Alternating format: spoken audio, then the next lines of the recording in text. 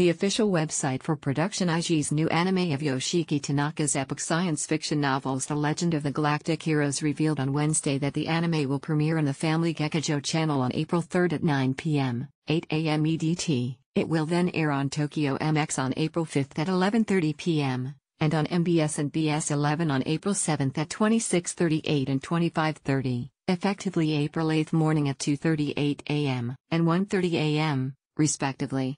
The first season, The Legend of the Galactic Heroes, Die Neue These Kaiko, the new thesis, Star-Crossed, will air as a 12-episode series. The event screenings of the second season, The Legend of the Galactic Heroes, Dinoides Seiran, the new thesis, Stellar War, will then play in theaters, as three films of four episodes each. In 2019, Shunsuke Tada, Kuroko's Basketball, Starmyu, is directing the anime at production IG Noboru Takagi. Durara.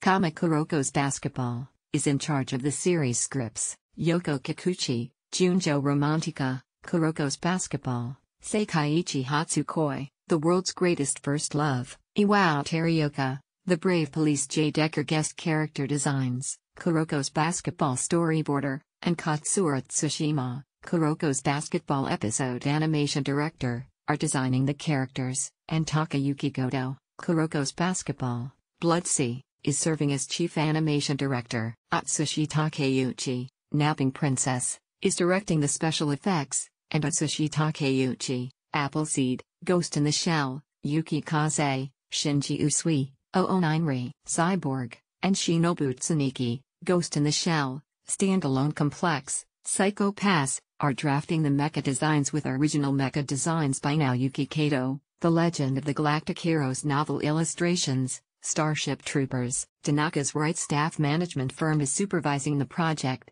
and Kitty Entertainment is collaborating on the planning, Tokuma Shoten is collaborating on the production, and DMM Pictures is collaborating on producing with Shochiku and Production IG. Composer Hiroyuki Sawano, Attack on Titan, Re, Creators, is composing the opening theme song Binary Star as part of his Sawano Hiroyuki NZK project, and Uru, Mobile Suit Gundam. Iron Blooded Orphans, live action Kanadori, is providing the vocals. The single CD, which also includes songs performed by Tielle and Gemie, will ship on April 25.